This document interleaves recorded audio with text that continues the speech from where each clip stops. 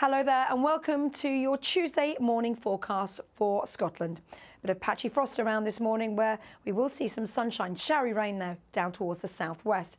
So a bright start to the day across this zone here, more clouds across the far north and then this rain moves up from the central lowlands and it will turn to snow above around 4 500 metres. Could even see some rain across the Moray Firth during the middle part of Tuesday afternoon. Brighter skies across the far northwest there. So temperatures then struggling, particularly where you've seen a frost overnight, 4, 5, 6 degrees Celsius. Uh, not particularly pleasant if you are stepping out through Tuesday afternoon.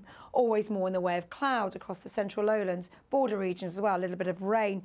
A bit wintry as you can see across the highest ground. We run into the rain then across Aberdeenshire. Perhaps some dry weather just about for this zone here, but up towards the Northern Isles, always more in the way of cloud. The odd shower can't be ruled out. A slightly different story to end Tuesday across the Western Isles. Here we'll see one or two showers, but also some brighter weather. And that brighter weather extends down to just the edge of Dumfries and Galloway as well as Ayrshire.